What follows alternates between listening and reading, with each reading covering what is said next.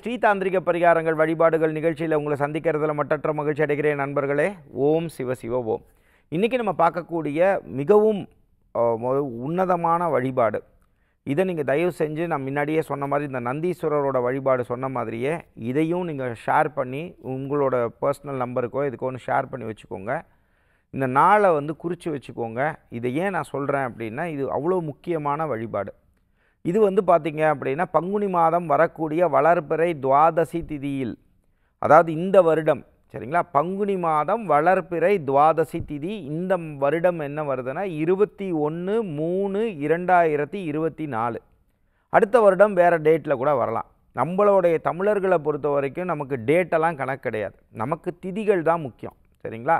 அந்த அடிப்படையில் இந்த வருடம் இருபத்தி ஒன்று மூணு இரண்டாயிரத்தி இருபத்தி நாலு வளர்பறை துவாதசி திதியில் என்ன நடந்தது அப்படின்னு பார்த்தீங்கன்னா இன்று தான் அதாவது அந்த தேதியில் தான் அந்த தேதியில் தான் வந்து பார்த்திங்கன்னா குபேரர் ஒரு ஸ்டேஜில் என்ன ஆயிடுறாருன்னா பணமே இல்லாமல் போயிடுறார். நான் சொல்கிறது புரியுதுங்களா? அப்போ இதெல்லாம் படிங்க. எப்பொருள் யார் யார் கேட்பினும் அப்பொருள் மெய்ப்பொருள் காண்பது அறிவு. அப்போ நீங்கள் ப பகுத்து ஆராய்ந்து நான் சொல்கிறது உண்மையா அடியேன் சொல்கிறது உண்மையான்றதை நீங்கள் படிச்சிங்கன்னா நான் சொல்கிறதெல்லாம் புரியும். அப்போது அந்த தேதியில் வந்து அந்த துவாதசி திதியில் வளர்பிறை துவாதசி திதியில் அவர் என்ன பண்ணுறாருன்னா சிவபெருமானை நினைத்துத்தான் அவர் வழிபாடுகள் செய்கிறார். பல பேர் இன்றைக்கும் ஒரு மாயை வலை என்னென்னா குபேரர் அப்படின்னு சொன்ன உடனே அவங்க உடனே என்ன நினச்சிக்கிறது? அவர் வந்து பெருமாள் பெருமாளுக்கு கொடுத்தவர். அப்போ பெருமாளை கும்பிடுங்க மகாலட்சுமியை கும்பிடுங்கம்பாங்க. நல்லா படித்தவங்களுக்கு தெரியும் இந்த மாதிரி விஷயங்கள் தெரிஞ்சவங்களுக்கு தெரியும். குபேரருக்கும் மகாலட்சுமிக்கே ஒரு ஸ்டேஜில் வந்து செல்வ வளம் போயிடுது. நான் சொல்கிறது புரியுதுங்களா? அவங்க ரெண்டு பேர்த்துக்குமே வாரி வாரி அள்ளி கொடுத்துன்னு இருக்கிறது யார் அப்படின்னு கேட்டிங்கன்னா நம்ம சிவபெருமான் தான். அப்போ சிவபெருமானுக்கு பல ஸ்வரூபங்கள் உண்டு. எப்படி வந்து பெருமாளுக்கு வந்து தசாவதாரங்களோ அவதார புருஷர் தான் பெருமாள் சரிங்களா? ஆனால் சிவபெருமான் எப்படின்னா ஸ்வரூப நிலை. ஸ்வரூப நிலைனா அவதார நிலைன்றது வேறு அவர் அவதாரமாகவே இருந்திருந்து போவார். பட் இவர் வந்து ஸ்வரூபங்கள் மாற்றுவார் அவர் தான் சிவபெருமான். அப்போ அந்த சிவபெருமானோட அந்த ஸ்வரூபம் என்ன? அந்த ஸ்வரூபத்தோட பேர் வந்து ஐஸ்வர்யேஸ்வரர்னு பேர். அப்போ நீங்கள் நல்லா பார்க்கலாம். நீங்கள் அந்த ஐஸ்வர்யேஸ்வரரோட திரு உருவப்படத்தை எடுத்து பார்த்தீங்கன்னா ஐஸ்வர்யேஸ்வரரான சிவபெருமான் அப்படியே பணத்தை கொட்டுவார். பணம் தங்கம் எல்லாம் கொட்டுவார். அதில் பார்த்தீங்கன்னா மண்டியிட்டு குபேரர் கையேந்தி நிற்பார் நிற்பார் இந்த பக்கம் பார்த்தீங்க அப்படின்னா மகாலட்சுமி கையேந்தி நிற்பாங்க அப்படின்னா மண்டியிட்டு தருகி உருகி கையேந்தி நிற்பாங்க அவர் சிரிச்ச மாணிக்கு ரெண்டு பேருக்கும் அப்படியே கொடுப்பார். இது எதுக்காக இந்த சித்திரங்கள்லாம் வந்து அந்த காலங்களில் கொடுத்தாங்கன்னா மக்களுக்கு அது புரியணும். அப்போ புரியணும்னு வரும்போது இதை பர்பஸாகவே சில பேர் என்ன பண்ணுறாங்க அப்படின்னு சொல்லி பார்த்தீங்கன்னா இதை பற்றி நல்ல விஷயங்களை சொல்ல மாட்டேங்கிறாங்க. நீங்கள் நல்லா புரிஞ்சுக்கணும்.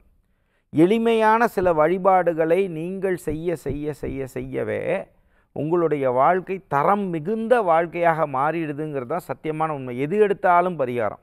எது எடுத்தாலும் ஒரு பரிகாரம். அப்படிலாம் கிடையாதுங்க. நீங்கள் சொல்கிறத புரிந்துங்க வாழ்க்கையில் சில வாழ்வியல் ரீதியாகவே சுவாமி கும்பிட்றது சுவாமி கும்பிடாதது அவரவர் நம்பிக்கையை பொறுத்து என்றாலும் சுவாமி கும்பிடுறவங்க தான் நம்ம நிகழ்ச்சியை பார்க்குறீங்க.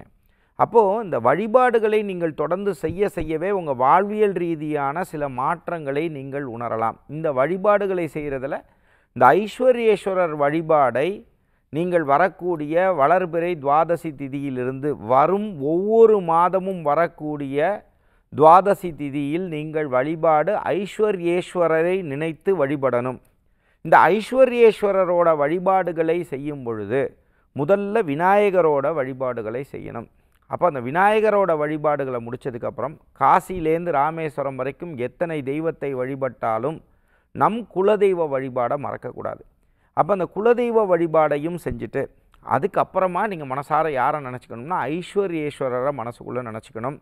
அப்போ என்னவா நினச்சிக்கணும்? குபேரரே. குபேரருக்கு இன்னொரு பேர் இருக்குது யக்ஷராஜர்னு பேர். சரிங்களா?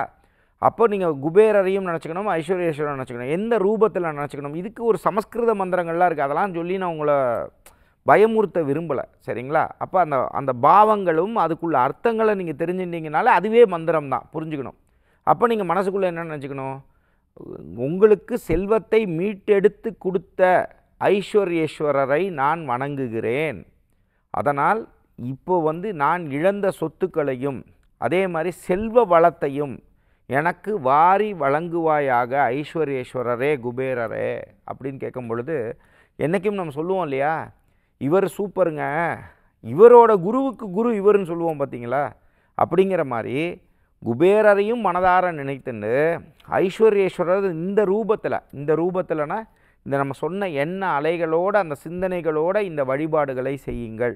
இதை நீங்கள் தொடர்ந்து செய்யும் பொழுது உறுதியாக சொல்கிறேன் அன்பர்களே இது வந்து நீங்கள் ஒரு வார்த்தையை நீங்கள் செஞ்சு பாருங்கள் கண்டிப்பாக உறுதியாக அந்த ஐஸ்வர்யேஸ்வரர் கருணையில் இந்த குபேரரோட கருணையில் இந்த பூஜைகளை நீங்கள் தொடர்ந்து செய்யும் பொழுது மாதத்திற்கு ஒரு முறையாவது அந்த திதியில் வைத்து செய்யும் பொழுது அந்த பன்னெண்டு மாதம் முடிக்கிறதுக்குள்ளேயே உறுதியாக சொல்கிறேன் நீங்கள் இழந்த சொத்துக்களையும் சரி நீங்கள் என்னைக்கு இந்த பூஜை ஆரம்பிக்கிறீங்களோ அந்த நிலையை விட அடுத்த நிலைக்கு உங்களுடைய பக்தி வந்து அடுத்த நிலைக்கு உங்களை உருவாக்கியிருக்குங்கிறதுல எள்ளளவும் மாறுபட்ட கருத்தே கிடையாது. அப்போ நீங்கள் கேட்கலாம். அப்போ நான் மாதம் மாதம் செய்யும் போதெல்லாம் விநாயகர் வழிபாடு செய்யணுமா? குலதெய்வ வழிபாடு செஞ்சுட்டு தான் அதுக்கப்புறம் இந்த பூஜையை செய்யணுமா? அன்பார்ந்த நேயர்களே எந்த பூஜைகள் செய்தாலும் விநாயகரோட வழிபாடும் குலதெய்வ பூஜை வழிபாடும் செஞ்சால் தான் அந்த பூஜைக்கு உள்ள பலன் நமக்கு வந்து சேருங்கிறத பணிவோடு சொல்ல கடமைப்பட்டிருக்கோம் நண்பர்களே. இதே மாதிரி நிறைய நிகழ்ச்சிகள் ஸ்ரீ தாந்திரிக் அஸ்ட்ராலஜி அப்படிங்கிற யூடியூப் சேனலில் போய் பார்த்தீங்கன்னா நிறைய பதிவு பதிவுகள் இந்த மாதிரி பண்ணியிருக்கோம். ஒருவேளை எங்கள்கிட்ட நீங்கள் ஜனனகால ஜாதகம் பார்த்துக்கணும்னு ஆசைப்பட்டால் சென்னையில் அலுவலகம் இருக்குது திருச்சியில் அலுவலகம் இருக்குது முறையான முன்னனுமதி பெற்று நீங்கள் எங்களை வந்து தாராளமாக சந்திக்கலாம். அதோடு சேர்த்து வந்து பார்த்திங்கன்னா பியூர் ஹண்ட்ரட் பர்சன்ட் ஒரிஜினலான சாண்டல்வுட் பவுடர் தட் இஸ் சந்தன பவுடர் எங்கள் கிட்ட கிடைக்கும். அதே மாதிரி வந்து பார்த்திங்கன்னா சந்தன மாலை ரத்- அதாவது ரெட் சாண்டல் மாலை சரிங்களா? சர்டிஃபிகேட்டோட நம்மளோட ப்ராடக்ட் எல்லாமே சர்டிஃபைடுங்க அதனால் நீங்கள் செக் பண்ணிக்கலாம். அதை நீங்கள் ஆன்லைன்லேயே போய் செக் பண்ணலாம். ஏன் நான் ஒவ்வொரு பொருளும் உருவாக்கும் போது ஏன் வித் ஆத்தென்டிசிட்டி இதோட நம்ம ஒரிஜினலான விஷயன்றதோட நம்ம கொடுக்குறோன்னா நீங்கள் செக் பண்ணி பார்த்தாலும் ஹண்ட்ரட் பர்சன்ட் ஒரிஜினலான விஷயங்களோட தான் சர்டிஃபிகேட்டோட தான் கொடுக்குறோம். அது உங்களுக்கு தேவைப்பட்டால் தாராளமாக கீழே இருக்கக்கூடிய நம்பருக்கு நீங்கள் தொடர்பு கொண்டீங்கன்னா எங்களுடைய ஸ்டாஃப் உங்களுக்கு கைட் பண்ணுவாங்க.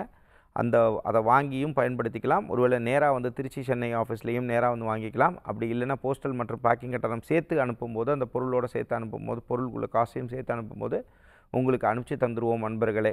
மற்றும் ஒரு நிகழ்ச்சியில் உங்களை சந்திக்கும் வரை உங்களிடமிருந்து வணக்கம் கூறி விடைபெறுவது உங்கள் விஜய் சேத்து நாராயணன் நன்றி வணக்கம் ஓம் சிவ சிவ ஓம்